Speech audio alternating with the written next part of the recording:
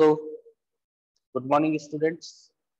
Today we are discuss about the problem based on points. देखिए हमने क्या लेना है? थ्री पॉइंट्स लेना ध्यान से सुनिएगा listen to be very carefully probability के अंदर जो मेन टॉपिक रहता है हमारा वो क्या रहता है? पॉइंट्स सेकंड नंबर पे आता है डाइस थर्ड नंबर पे आता है कार्ड्स और फोर्थ नंबर पे जो प्रॉब्लम्स हम डिस्कस करने वाले हैं वो क्या होती है? बॉल्स तो अभी हम जो कॉइन से रिलेटेड प्रॉब्लम डिस्कस करने वाले हैं, मेरा विश्वास है कि इसके बाद आपको कभी भी कॉइन से रिलेटेड कोई भी क्वेश्चन पूछा जाएगा, उसमें कोई डाउट नहीं है। तो ध्यान से सुनिएगा प्रोबेबिलिटी के अंदर three coins are tossed together three coins are tossed together और one coin is tossed three times ध्यान से सुनिएगा three coins are tossed together यानी कि थ्री कॉइन्स लेकर के हमने एक साथ टॉस कर दिया। या फिर one point is toss three times. एक ही सिक्के को हमने कितनी बार उछाल दिया? तीन बार। तो दोनों बातों में कोई फ़र्क नहीं समझना है। Three coins are toss together और one coin is tossed three times. तो बेस्ड है हमारे प्रोबेबिलिटी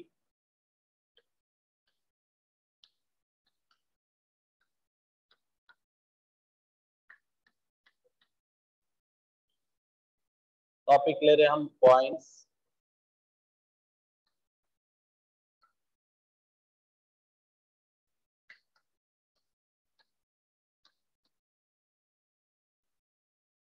क्वेश्चन है हमारा। Three coins are tossed together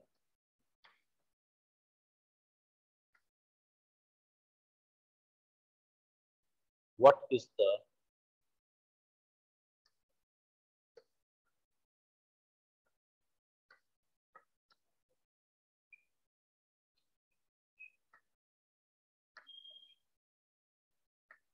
what is the probability?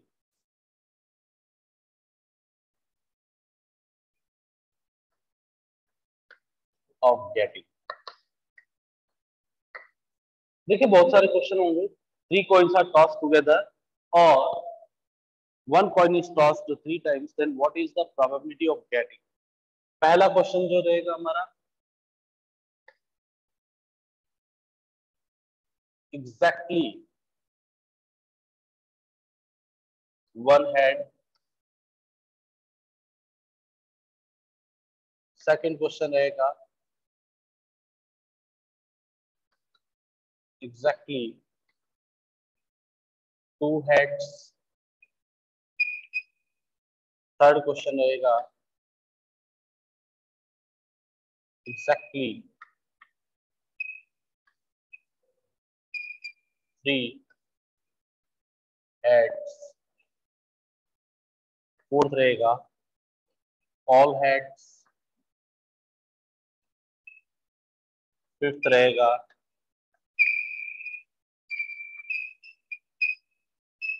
No heads six रहेगा हमारा।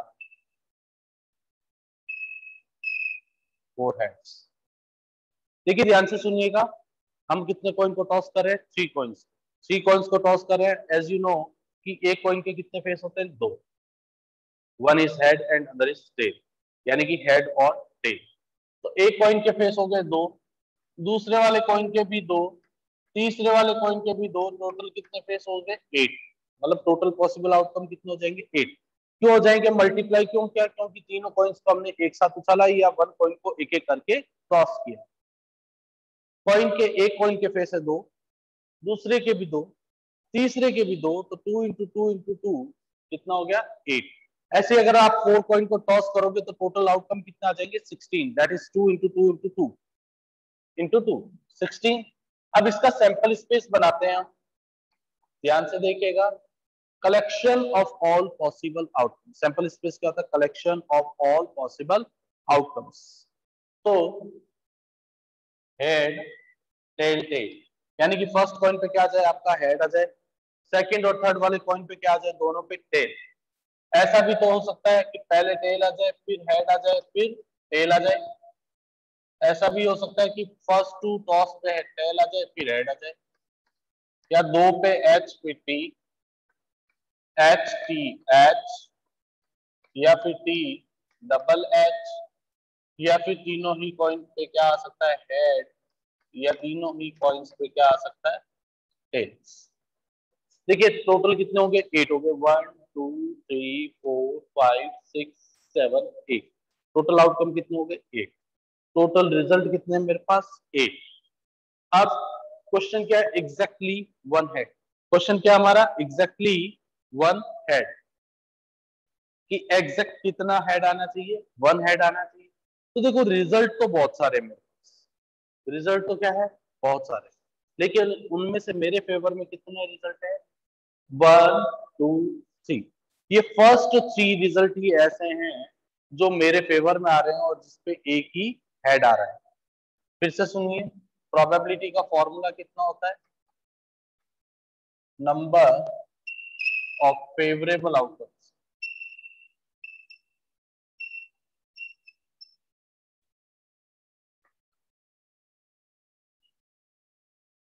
upon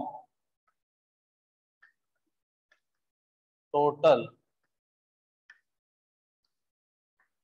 outcomes देखो टोटल आउटकम तो कितने हो गए मेरे पास एट टोटल आउटकम्स कितने हो गए मेरे पास एट हो गए।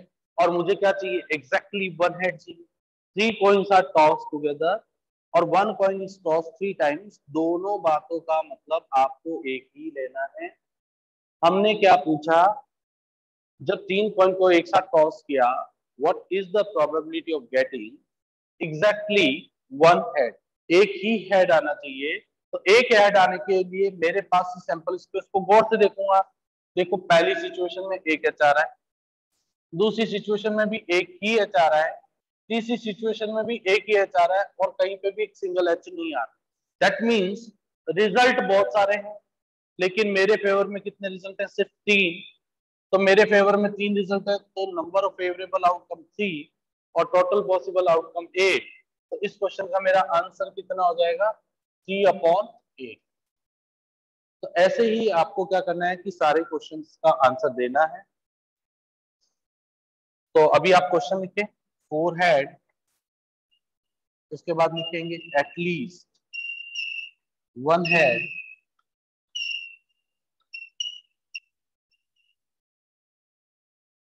at least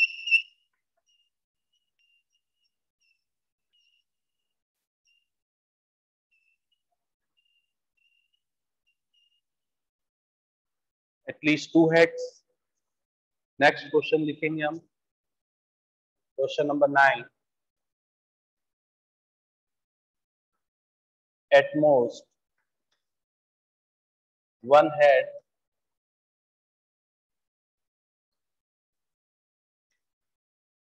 at most two heads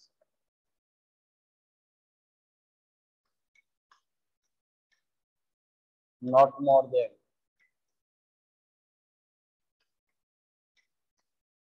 three heads, not more than three heads. पहले मैं क्वेश्चन लिखवा दूँ उसके बाद मिस्टर यश आपको डाउट बता दिया जाए। Not more than three heads first two tosses.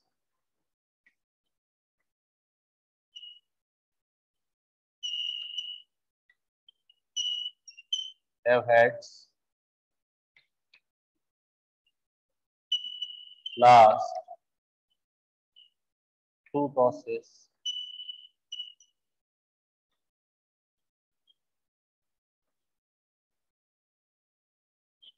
have heads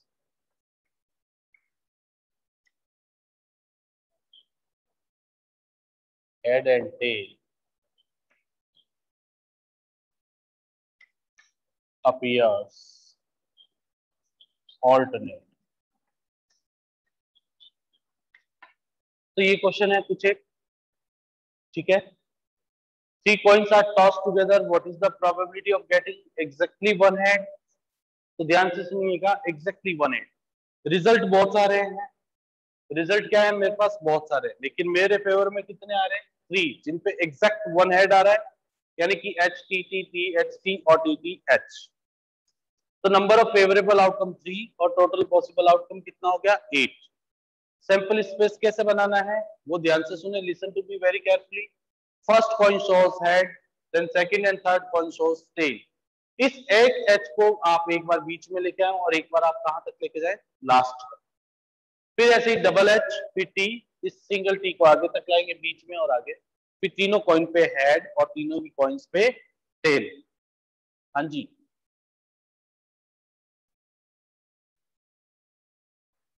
question क्या है हमारा?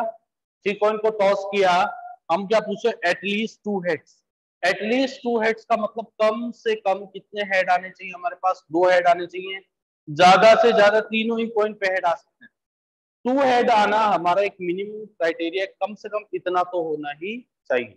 ठीक, वैसे समझिए कि आपको एग्ज़ाम में पास होने के लिए सपोज़ कीजिए बोर्ड का एग्ज़ाम चल रहा है आपका हंड्रेड मार्क्स का तो आपको पास होने के लिए मिनिमम कितने मार्क्स चाहिए? थर्टी थ्री ज़्यादा ज़्यादा फोर्टी फिफ्टी सेवेंटी एटी और हंड्रेड आउट ऑफ़ हंड्रेड ला सकते तो जो है वो है, वो हमारा मिनिमम क्राइटेरिया कि इतना तो होना ही चाहिए। इससे ज़्यादा भी हो जाए तो कोई प्रॉब्लम नहीं है। एटलीस्ट टू हेड्स का मतलब क्या होता है मिस्टर भुवन कम से कम दो हेड आए। तो कम से कम दो हेड देखो वन टू थ्री ज़्यादा से ज़्यादा क्या हो सकता है कि तीनों ही कॉइन पे क्या आ सकता है, हमारे हेड आ सकता है। तो मेरे फेवर में रिज़ल्ट कितने हो गए बेटा जी? वन टू थ्री और ये फोर फोर अपॉन एट। यानी कि इसका आंसर कितना होगा हमारा? Four upon eight. ये बात हो रही थी बाद में इसको सॉल्व करने पे वन बाई टू आ जाएगा, इसका आएगा three by eight one by eight all heads का one by eight no heads का भी वन पॉन एट इसका आएगा ज़ीरो इम्पॉसिबल इवेंट है और इसका आएगा सेवन अपॉन एट अब बात करता हूँ मैं at most one head at most one head का मतलब क्या होता है? ज़्यादा से ज़्यादा एक ही कॉइन पे हेड आना चाहिए। वन हेड का मतलब क्या है? ज़्यादा से ज़्यादा एक ही कॉइन पे हेड आना चाहिए। तो एक कॉइन पे तो आना ही चाहिए ना?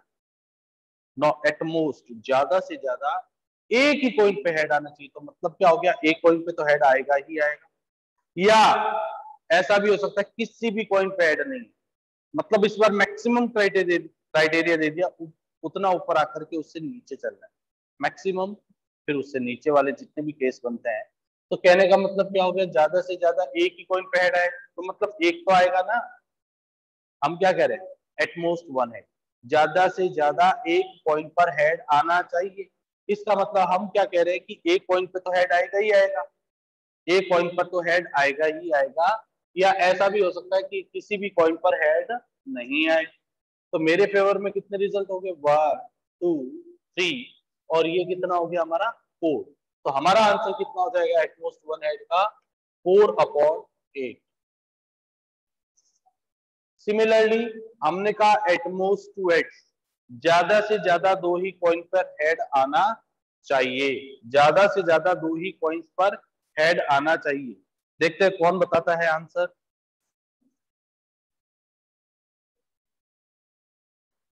देखिए एटमोस्ट वन हेड का मतलब समझ में आ गया होगा कि यानी कि वन हेड आने की कंडीशन और किसी भी कॉइन पे हेड नहीं आए। That is four upon eight at most two head आने का मतलब कितना हो गया? दो हेड तो आने ही चाहिए। वन हेड भी आ सकता है या किसी भी पॉइंट पर हेड नहीं है।